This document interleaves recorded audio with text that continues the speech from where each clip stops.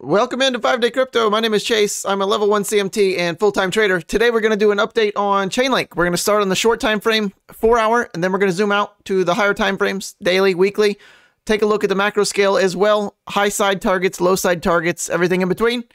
If you liked the video, give us thumbs up. If you want more help navigating these markets, consider subscribing to our Patreon group. You get access to a private Telegram alerts group where I keep you updated on all the altcoins, Bitcoin daily updates, uh, market caps, stock market, everything you can think of or request is found there. Links below. Let's check. Let's get going. Right. Uh, Chainlink, four hour. We're in a downtrend, right? We have a high here, lower high, lower high. We're in lows. However, we're attempting to potentially put in a higher low, right? We're trying to reverse this trend. So step one is to put in a higher low from 1670, right? This is our support zone. If we zoom out on a higher time frame, you'll see this even more clearly. So anywhere that we can reverse higher than 1678, we're good to go. That's our step one. Step two, we have to take out a high. So let's march up the stairs. So we want to see higher prices in Link. First and foremost, this high here. The second one, right? Just keep it simple. That's the next high. So let's take out 1927, 2045, and you know, then where's our next one? Well, you got to look higher than this, right? This will be our kind of our final uh, zone right here. This is what we're looking at to enter the stratosphere.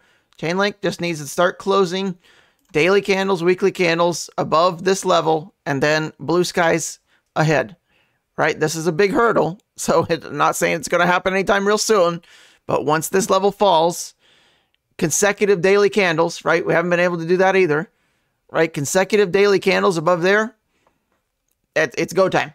Okay. Now, speaking of daily candles, let's get to our daily chart. Look at where we are now. We're at the 100 day EMA, where last time we had a little deviation swing down below, close right back above it, bullish engulfing, outside bullish bar, right? Eclipsing this entire total candle, the next candle, right? Great sign. So we're looking to do that again. It doesn't have to be identical to that, but we do not want to close multiple days below this 100 day EMA. And we might get a, you know, helping hand by the Bollinger Bands here, right? See how they're pinching up here? likely increase increasing our odds for decreased volatility, which is a good thing, right? You don't want this mouth open as prices start to fall. Then you can just kind of go down a slide. So here's our support. Why? Why is it support? Well, previous resistance, top, top, top. You can see we broke out through it, throw back to it, right? That's a bullish retest. So now we're simply looking to put in a higher low on the macro, which we're not there yet, right? It's too early to tell. But there's our high lower high. Here's our low. So if we want to not, uh, you know, we got to avoid this downtrend, or we're, you know, we're putting in lower lows. However, I don't think we're likely to go below the 200 day. Right, that's kind of where we would draw the line. Uh, maybe quickly, like with a weekly wick or something like that, potentially. But dollar cost averaging, you know, when your coin's on sale, right, is generally a good idea. Chainlink currently down 23% from the top. Many coins are down well over that. This last move down went about almost 30%. Currently, from our little swing swing up there, still down 15%. So still good. So what we're looking to avoid is, you know, hitting this, right? Because that would be high, lower high, low, lower low.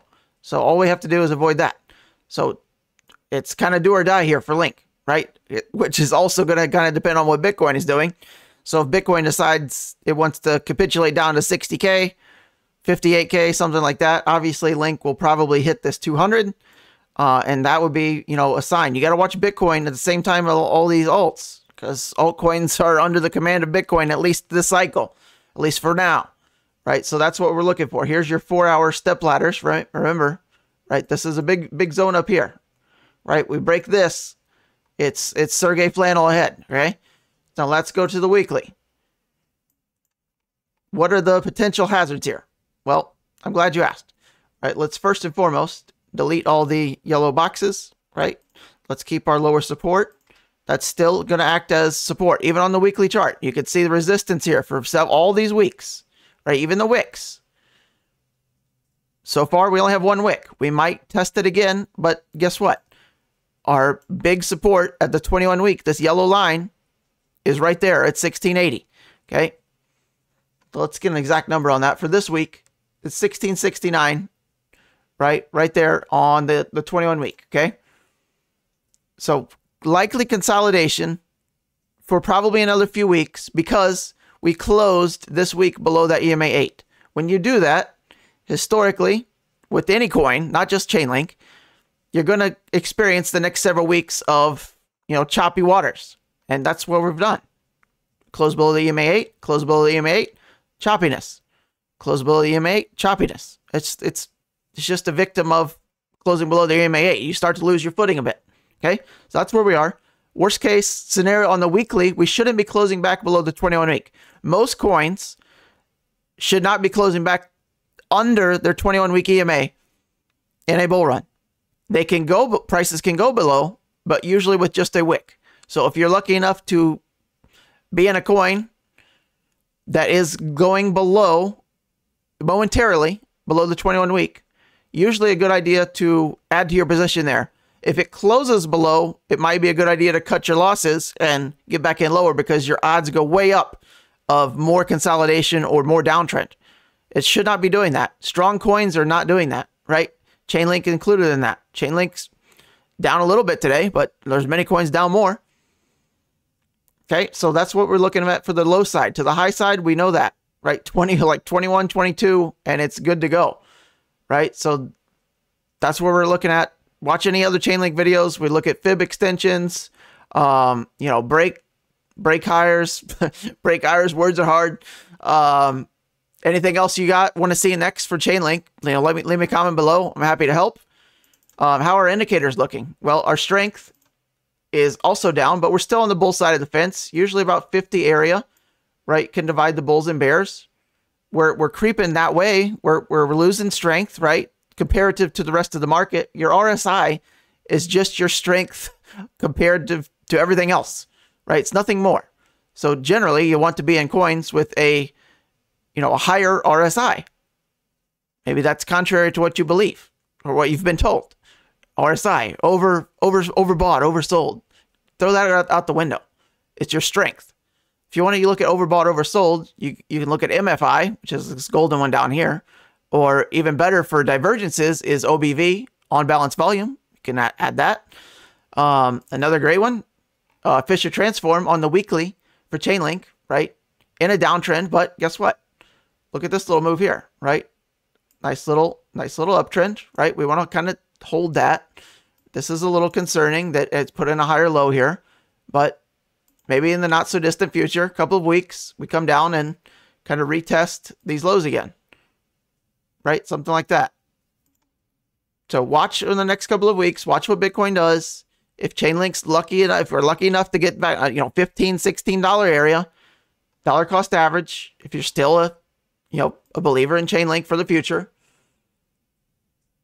All right. That's it. What other questions you got? Let me let me let me message below. I'll try to read all of them. I try to read all comments. I might not respond to all of them, but I've if you typed it, I read it. all right, uh, let's get to our quote of the day. Uh, no man was ever wise by chance. By Seneca. True story. uh, car of the day, McLaren. Nope, McLaren. you can tell where my mind's at. Uh, Maserati MC20. It does kind of look like a McLaren. Um, uh, GT. If you know McLaren GT, that rear end, I was like, hmm, looks very similar. I think they ripped it off. McLaren GT came out first. All right, the front, Maserati MC20. Pretty good. It's like an orange red. This guy's puzzled. Let's. His wife's even more puzzled. You're not thinking about getting one of these, are you? All right. My Mickey Mouse voice impression. All right, I'll see you on the next one. This this room is still blue. That light is still on. It will remain on this whole bull run. Uh, we need the flannel on. If you want the flannel for these link videos, its price has got to be blue. Blue skies, 22. Blue at 22. Flannel's on.